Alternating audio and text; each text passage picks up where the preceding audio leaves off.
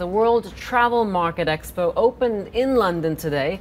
North Korea and Saudi Arabia are among the many countries hoping to attract the tourist dollar.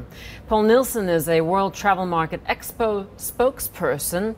Uh, welcome. Paul, we're, we're glad Thank that you you're very with much, us. Um, and, and as we've been saying, I mean, Saudi Arabia and North Korea both represented at the travel market. This particular uh, emailer writes in, John writes in, he says, I'm watching the show and, uh, and this is appalling. It has to be the most, he calls the murderous regime on earth. The prison camps are unimaginable. Uh, he goes on to say, shame on those who visit the country. Um, Well, I think tourism to North Korea at the moment is very limited, Yeah. but the tour operator is at World Travel Market to talk to travel agents and to try and get distribution in those maturer markets. So that would be you know, the UK, Europe, and uh, North America.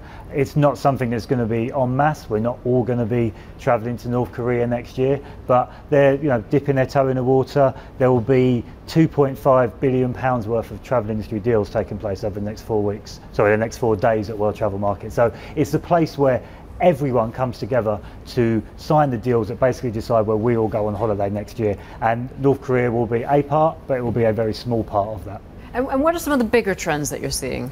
Well, you're seeing, so in those mature markets that I discussed, so the Yeah. UK, Europe, and North America, we're all going on holiday more often. So we're going to more places, which is why countries like North Korea, Myanmar, Saudi Arabia are exhibiting at World Travel Market because we're all looking for. Uh, a dinner party currency, if you like. You know, we all want to go to that new destination uh, before our friends do.